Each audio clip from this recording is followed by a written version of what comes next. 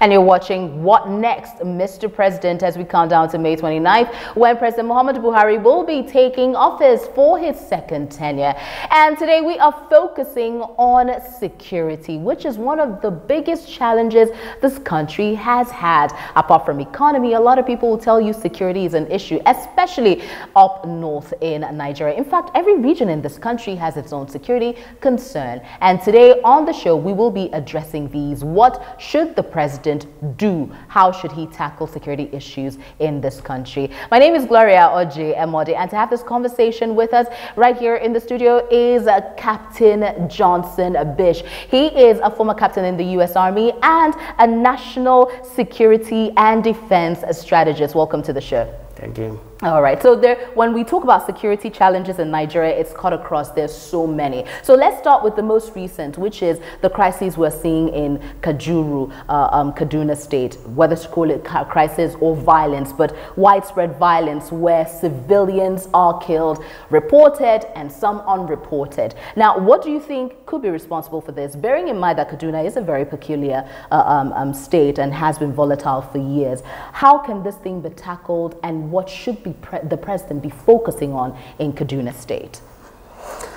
Right. Um, see, when I discuss Nigerian issues, I don't usually like to focus on temporary solutions. Please. Because that is where we've gotten it wrong in this country, because we try to look at what can be done now to provide an immediate, you know, succor or basically to kick the can down the road and wait for the next person to come and begin to tackle the problem. Um, the problem in Kaduna State has been there for quite a long time now, several decades. And that is because of, like you rightly pointed out, the peculiar nature of Kaduna State. Kaduna State, in a way, is like a miniature of Nigeria, where you have the northern uh, Muslim north, and then you have the Christian south. Um, and particularly most of the problems that you see in Kaduna State are usually religious, tribal, and economic. So there won't be an immediate solution to it. Oh. No. We, if we want to solve the problem, we can, we can suppress the problem for now by deploying massive presence of security agents in the area. But that is not going, that is not, the, that is not a permanent solution to the problem. If you're intent and you're honest and you want to solve the problem once and for all, you have to go back to the root causes of those problems. Which are?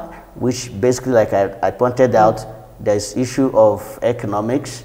Um, you've got this um, uh, Fulani community that are residing within the Christian communities in, in southern Kaduna State. Mm. They're all competing for land and stuff like that. So it, what is happening in southern Kaduna is not very different from what is happening in Benue and other parts of the Middle Belt, which Southern Kaduna, in my own calculation, is even better off being considered as middle belt.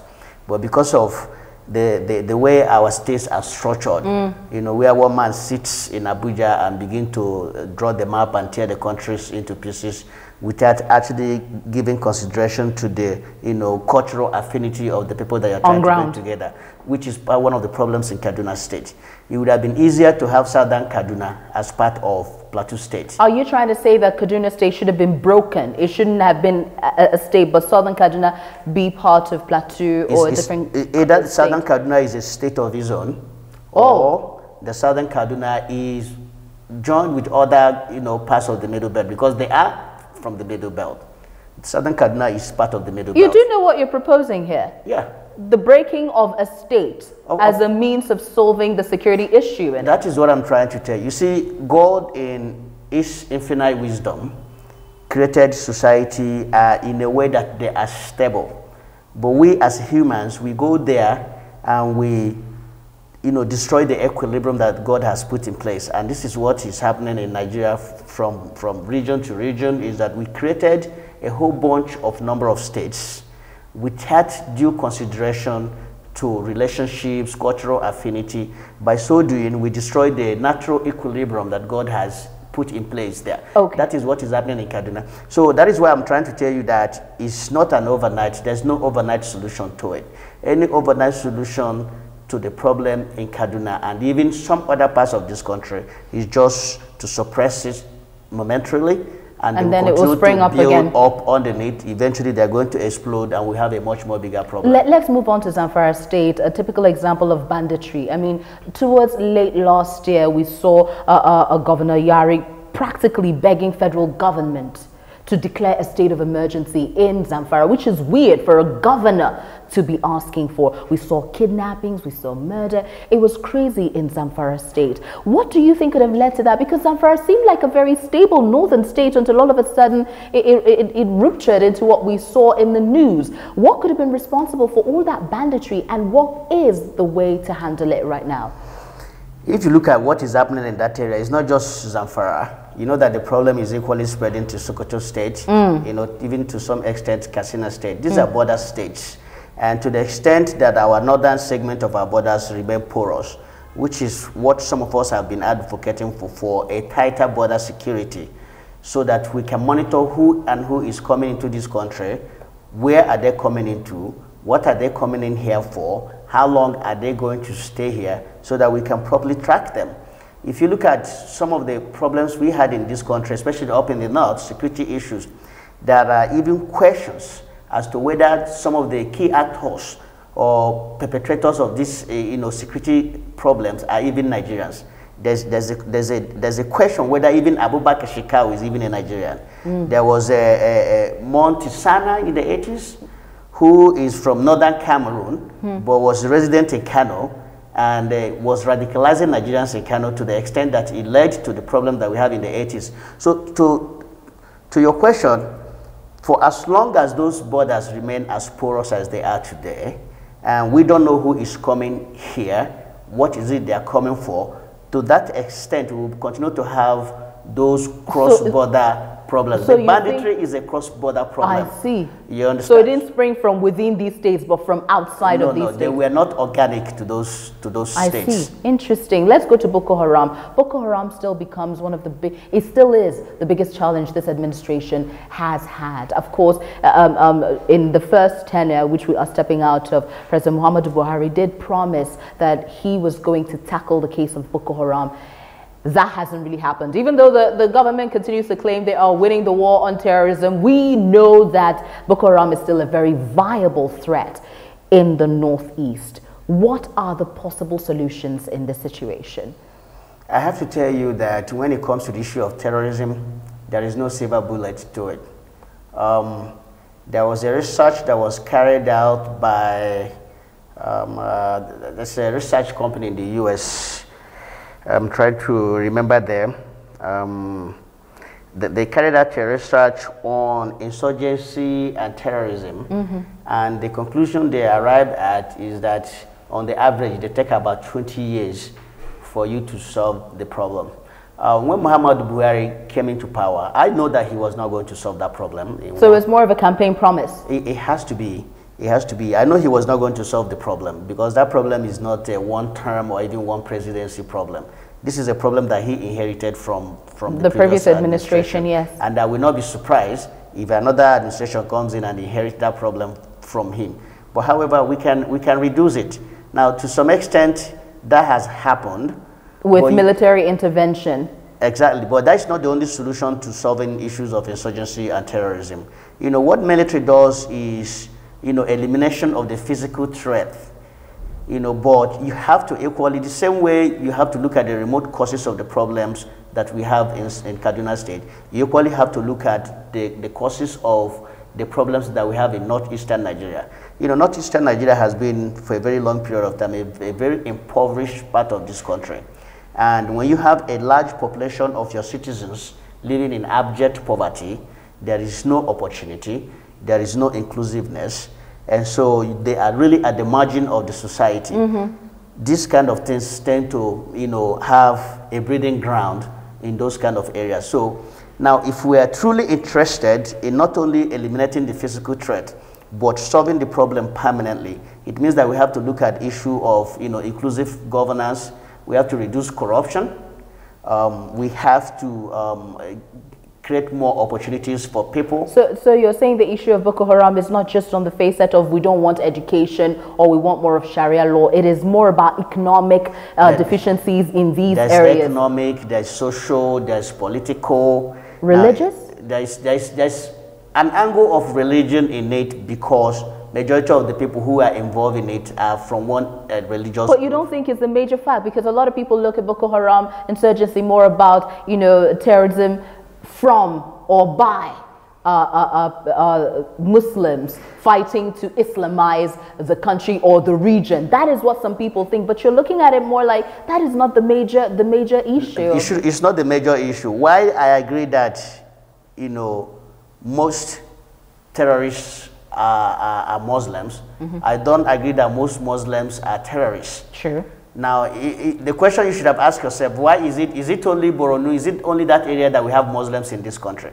The people in that particular region, are they more Islamic than the people from the other states in Nigeria mm. where you don't have these problems? If you look at it and you draw that parallel, you discover that it's not uh, mostly about religion, religion about yes. religion. It's, it's, it's, economics. There are so many factors that had contributed to it. Let's move on a little bit. You know, when the Metele attack occurred, we talked about it. We had a great conversation about it. And then one of the things that we really looked at in that conversation, I remember quite well, is corruption in the Nigerian military, which you said had a lot to do with um, the way corruption, or rather the way the, the, the Boko Haram has been fought in the Northeast.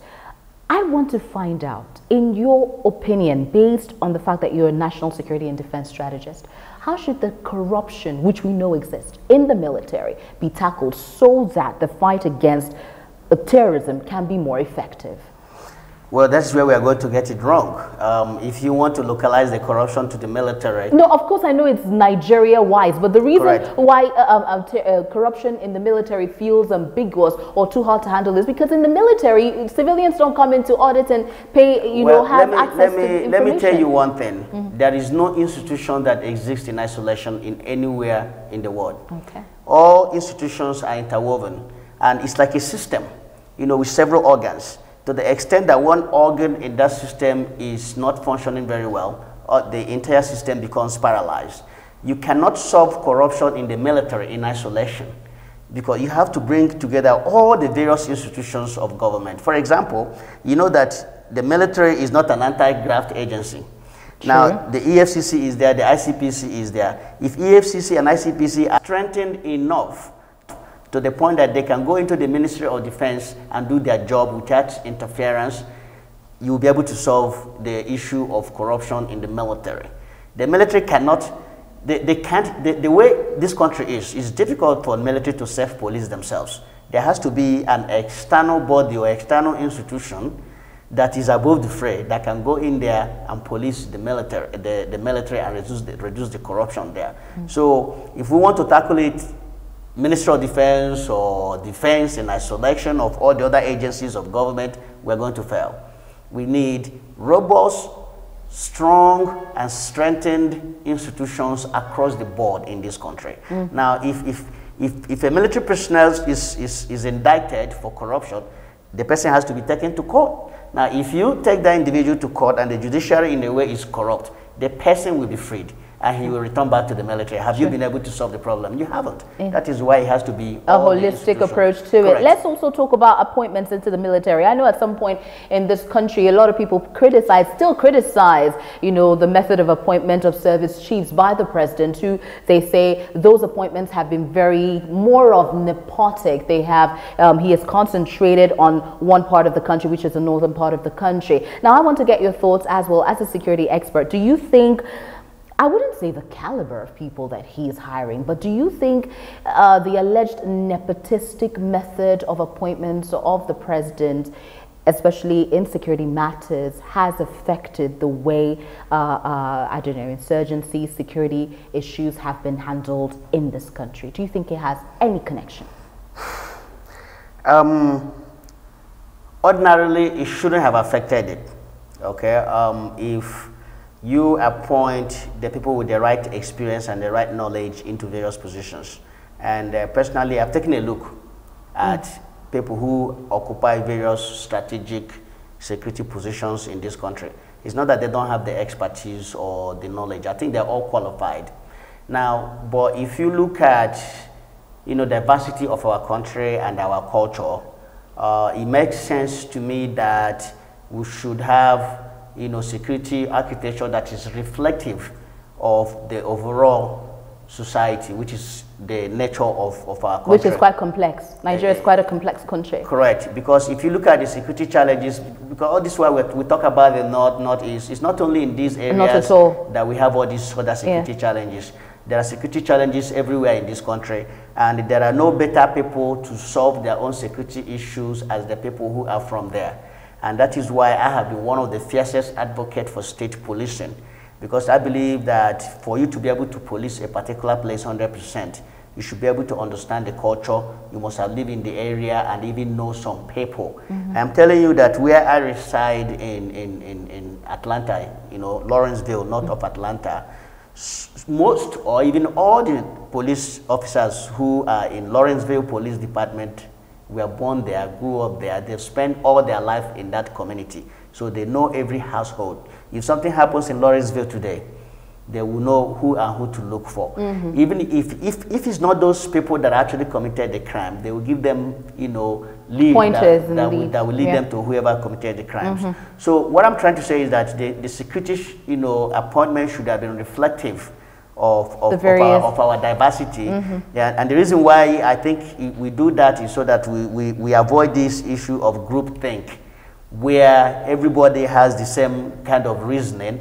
There is no, uh, uh, uh there is not, uh, there, there's, there's no, no, feeling of exclusion. There, there's no this um, dissenting opinion or view that would have allowed you to do some kind of critical thinking before arriving to your solution. All right, well, let's round this up. Um, I heard, I heard a group of people discussing something uh, on my way to work one time, and they're they were complaining bitterly that VP Osinbajo, Yemi Osinbajo, is hardly ever invited into security meetings by the president. You have the sec secretary to the federal uh, government of the federation present, you have the chief of staff present, you have the service chiefs, but you don't have the VP. Now, some people have even gone further to look at it as a conspiracy theory. Maybe they're meeting to move the northern agenda forward. I want to get your thoughts on this as a security expert. Should the VP be at security meetings. At least we know for the last two, three thereabout, he hasn't been present. Should he be at security meetings? And if he should be, why do you think he's being excluded? Well, I don't know if he's being excluded because I don't have that information mm -hmm. myself. I'm not part of the government. Um, every information. But have you heard that? Have you heard, you know? I, I have, I've heard, you know, some kind of social media rumors and I, I, I, don't base my analysis on, on some of the rumors you see on social media. All right, fair um, enough. But if it is a fact that uh, the vice president has not been attending those security meetings, I don't think it portends well for this country. Um, one of the qualifications of running as a vice presidential candidate is that, you know, you have to as well qualify to be president. Should anything happen to your principal, you become, from day one, you become president. So it's important that the vice president is equally attending those meetings so that he is abreast with the security situation of the country because nobody knows what happens. Exactly. If you look at the history of the United States, you will discover that there has been so many instances where the president died and the vice president had to take over even in this That's country. The, even in this country, the president was almost four away for more than exactly. three months even, on even medical in this, vacation. Even in this country, yeah. you saw what happened when Yar'Adua died. Mm. The good president, Goodluck Jonathan, who was vice president, then had to now become president. Mm. So that is why it's important that the vice president is attending these security meetings so that he is abreast with the security situation of the country. I want to say a big thank you to you, Captain Johnson Bish, for taking out time to talk to us right here on Roots TV. And of course, we've been watching What Next, Mr. President, as we count down to May 29, when he'll be taking over the mantle for the second time for a second tenure. Give us your comments on this conversation on the comment section of this video and subscribe to our YouTube page. My name is Gloria Oji Emode.